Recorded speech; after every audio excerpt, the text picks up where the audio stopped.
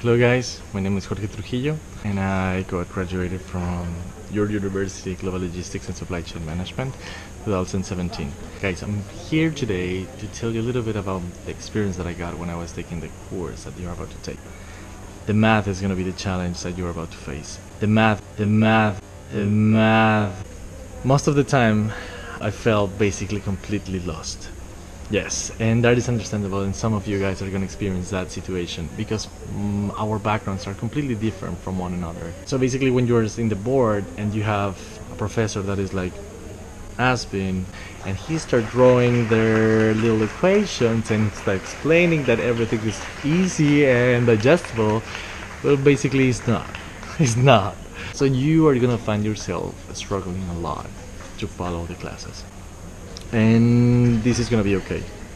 That's that means that you guys have to push yourselves into the library into the basics of math. Once I was done with the course which as a matter of fact I failed but then later on I took it as a challenge though and it makes me study even harder and I study my all my soul and heart into that exam which as a matter of fact it was better when I did when I did the retake once I was done with that, um, I had a chance to make an internship in Amazon. Um, this internship was really, really cool. In Amazon, as any other company, you have thousands of lines of data, millions, I could say. But you cannot do anything with that data if you cannot make it speak. Let me tell you something big data, speak math. Just to tell you a little bit about the project that I did, they were trying to measure two different processes and how they react between each other. So basically what I did is like I started measuring in different points, different days that were comparable. And what I got is like a, kind of like a scatter plot, which is a bunch of points for two different processes. Then what you do out of that is that you start drawing lines that makes those points speak. Those lines have mathematical equations and at the end what you're trying to do is trying to link them. And the only way to link them is through mathematical equations. Now, this is just one example. And let me tell you something, if you keep your mind open to the examples that are being handled in class, you later on are going to be able to transmit that knowledge into your work, into your projects.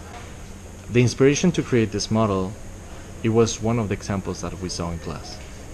It's just basically lines. And I start thinking, yeah, yeah, lines. I think I saw one of those lines in class. I, I didn't remember how to do it, but I was able to go back into my notes. Once you go through all this process, you're gonna get knowledge that is really hard to replicate. Once you're out there into the field, you're gonna be able to do things that no one else can. So guys, I just would like to wrap up this message, uh, letting you know that yes, during this course, you might feel a little bit frustrated. You might feel a little bit down because you have the anxiety of people going faster than you. Just focus. Keep studying really really hard. And ask your professor for assistance about what are the topics that you should be focusing on. Remember that you are getting skills that are really rare are in the field. You are gonna have competitive advantage for sure. And i really wish you the best. Work hard play hard